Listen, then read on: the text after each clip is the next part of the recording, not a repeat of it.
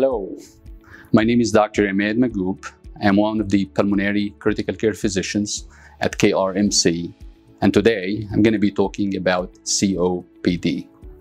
COPD stands for chronic obstructive pulmonary disease.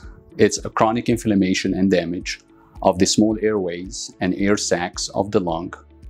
That damage leads to inability of the lung to transfer gases and exchange them between the air, your lung, and the blood and vice versa.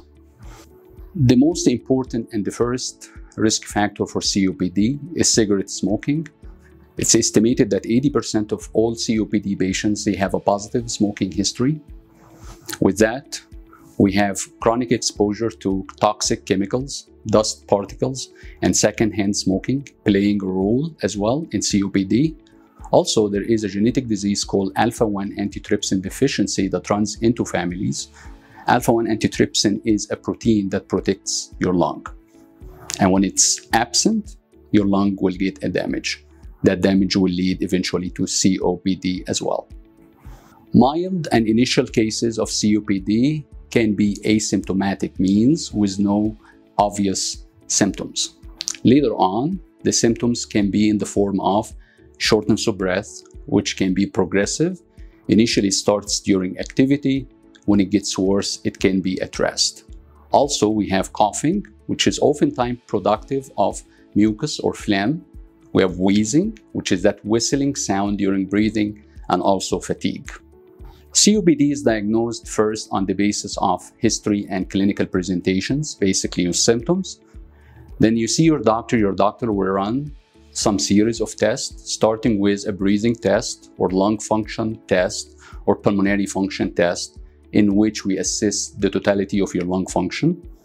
In addition to that, some imaging such as chest x-ray or CAT scan, which is a form of advanced chest x-ray, can show the COPD changes and the emphysema, it changes in your lung. Emphysema means damage of the small air sacs of the lung. Also, with the patients, they have family history of COPD, alpha-1 antitrypsin deficiency the level of that enzyme should be tested as well. Unfortunately, there is no treatment to cure COPD. However, we can control COPD so you can slow its progression and you live with it, such as you live with diabetes and high blood pressure. As far as the treatment for COPD, first we have supportive measures. Starts by the most effective measure, which is quitting smoking. Quitting smoking is the most important effective measure you can help your lung with.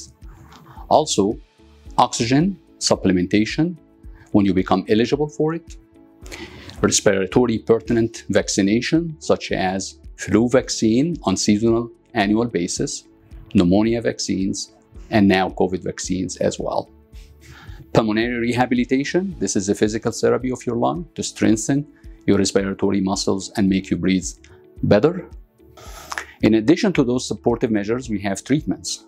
And those treatments are mainly given via inhalation or nebulizations. We have bronchodilators that open up your airways and make you breathe better. We have inhaled steroids, anti-inflammatory medication, trying to combat the inflammation caused upon you by COPD. We have other medications oral to reduce the frequency of COPD and eventually, if you become eligible and your COPD is in this stage, lung transplantation is uh, considered. With all that, close follow-up with your lung doctor on a regular basis is crucial. And I advise every one of you with COPD to do so.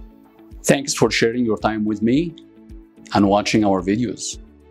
For more information, please feel free to contact us or visit our website once again, this is Dr. Ahmed Mahgoub. Have a wonderful day and stay healthy.